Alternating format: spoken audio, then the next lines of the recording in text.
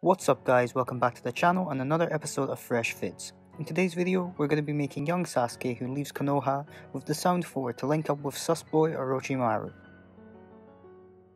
Alright, first select body type C and make the following body adjustments. Then select this hairstyle of course, making it black, and give him these aggressive eyebrows cause he still be mad at Itachi, you know? And as always, give him the default ears. Then again, aggressive is the look, so these eyes work good. Select these pupils and of course make them red for Sasuke's Sharingan and give him this nose as well as this jaw.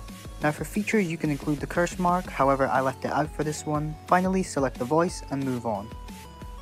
Now for the outfit you'll want these boots and either this blue top or this one. I went with the first option and purchased these black shorts. I know his are white but this was the next best thing and still fits the aesthetic so yeah. Once you have everything it should look like this. Alternatively the other top looks like this. I opted for the other obviously as I found this blue too distracting but suit yourself. Now this is up to you but you know with, with corona around and stuff your boy Sasuke could use a mask so yeah keep him safe with this mask.